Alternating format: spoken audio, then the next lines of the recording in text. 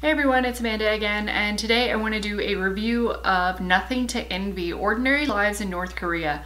I'm trying to read more diversely about um, specifically the Pacific Asian region um, cultures. I don't know that much about the area, I don't know much about the history, I know almost nothing about the Korean War, and those are all things that I want to fix this year, and you're going to see a lot of foreign culture related nonfiction over the course of the rest of the year. Um, I have some Russian accounts that are coming up soon too, uh, but this one is a tale that is woven through the perspectives of people who have defected from North Korea, and it is their experience honing in really on the 1990s, the 80s, 90s, and then early 2000s. And it is the education system, it's their everyday lives, it's food and shortages and jobs and life there. And I it touches a little in the beginning about how North Korea and South Korea were split. It talks about Japanese occupation. It talks about influence from China. It also talks about our involvement and Russia's involvement. And it talks about communism and sort of the very brief background on all these things. I would really like to flesh this out a little more because this was a more personal narrative of individuals and their recollections of growing up and living in North Korea and then defecting to South Korea.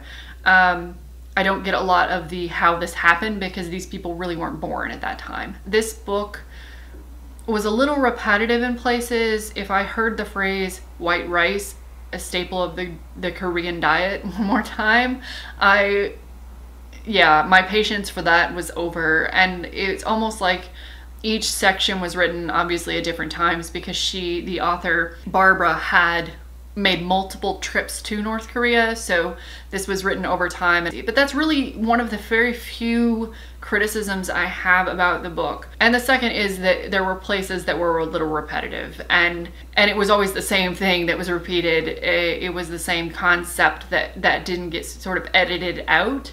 And I don't know if that was to kind of keep the length of the book or if it was just an oversight because overall it was a great read. It was um progressed through time very nicely and showed contrast very nicely. Also showed the, the, the contrast between North Korea and the rest of the world over time. So it showed how this this divide started happening and then how that sort of separation started getting larger and larger and how their their culture is kind of stuck in the 50s. And this individual reasons that people defected and little things that made them realize that what they're seeing may not be true and how a lot of the population the defectors that she interviewed um, or refugees, whatever the proper term you want to call them would be, the individuals, um, what little realizations that they saw that made them question what they were being told about the outside world. And i think that was really interesting. But another thing that i didn't know i just there's so much about their culture that i just wasn't aware of. And this book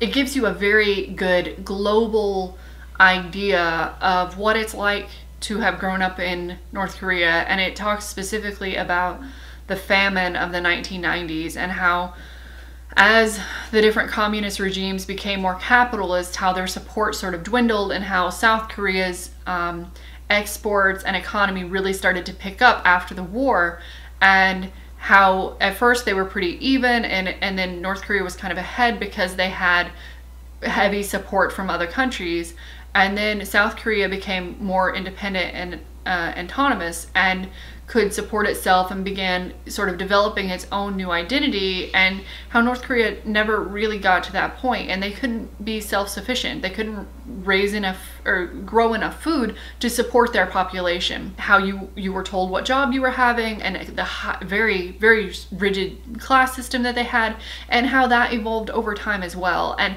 and all of these components show the evolution of this country and and the interaction with the outside world and being an American and not super popular there. I, I find the culture fascinating and I, I really don't know that much about Korea in general. So I when I started reading this book, um, one of my coworkers is Korean and we had a really long conversation one day on the way home. Uh, she lives in my area. So while on our walk, we, we talked about South Korea and she, she gave me insight into how things have shifted for the idea of one Korea and generational differences because she's a little older than I am. So she I'm in my mid 30s and she's in her early 40s and how her that one generation above and one generation below and and how individualist South Korea can becoming and I, I want to read more just about this entire event the Korean War and South Korea and the government situation and politics and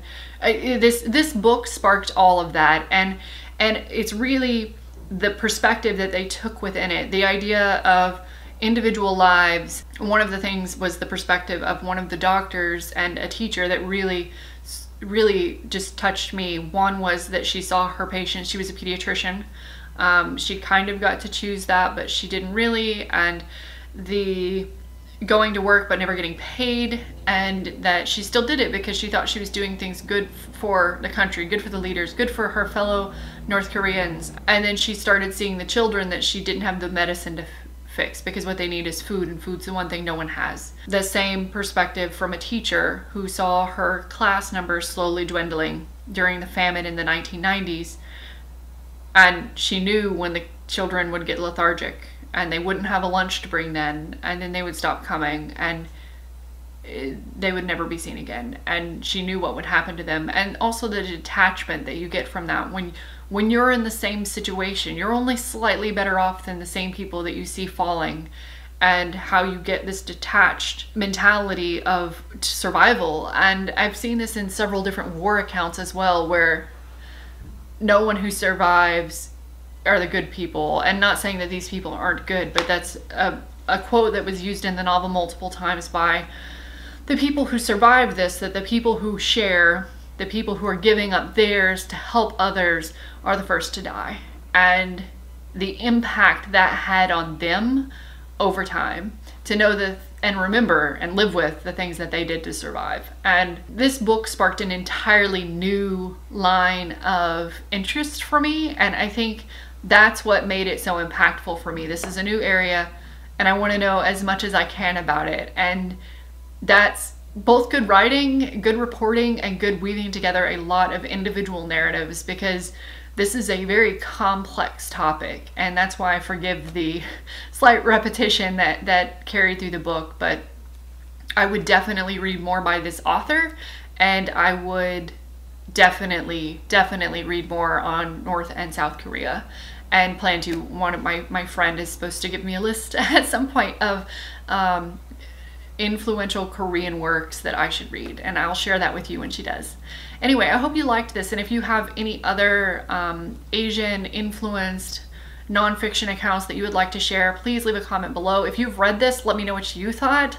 I really, really liked this, and so far I've been able to talk about it with the one person because she's the only person that's invested and actually understands what I'm talking about. So if you've if you've read about this, let me know. We need to chat.